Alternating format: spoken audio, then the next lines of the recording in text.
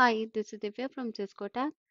This video describes the steps to configure the passive ID using agent as provider to obtain the user and IP mapping for authenticated users via Active Directory.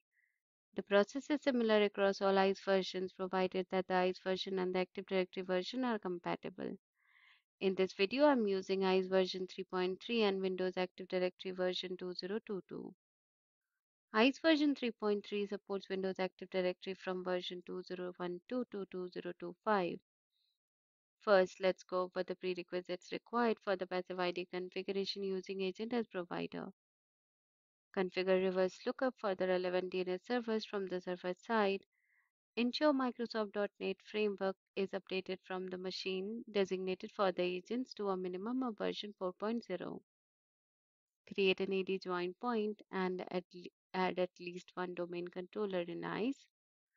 When configuring the agent provider to monitor domain controllers for user identities, the agent must be installed on either a member server or on a domain controller.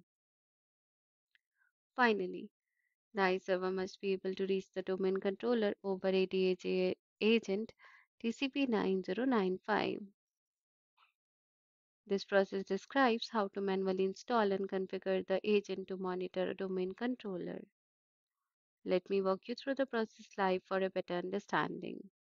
Log into ISE and navigate to Administration, Deployment. Ensure to have the Passive Identity Service enabled. Go to Work Center, Passive ID, Providers, Active Directory. Confirm that the Active Directory join point is operational. Click on the agent on the left side pane.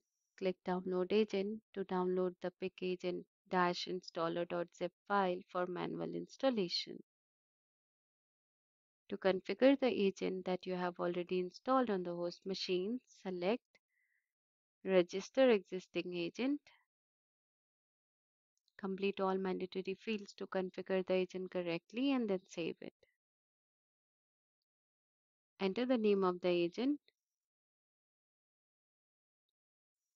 followed by host FQDN of the domain controller where the agent is installed.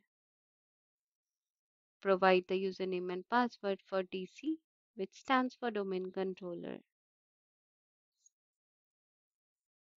Select the protocol as MSRPC and then save it.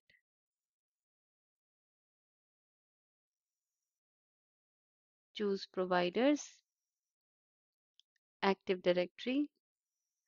To view all the currently configured join points, click the link for the join point from which you would like to enable the agent you created.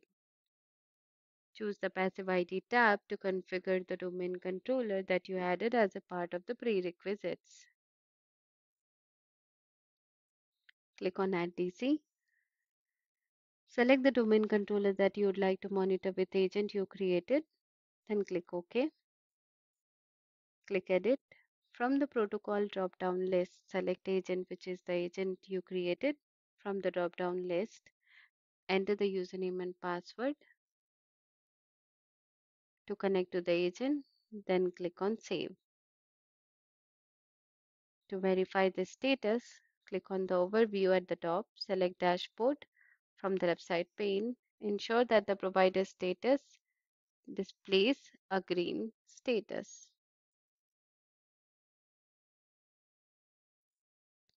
Thanks for watching.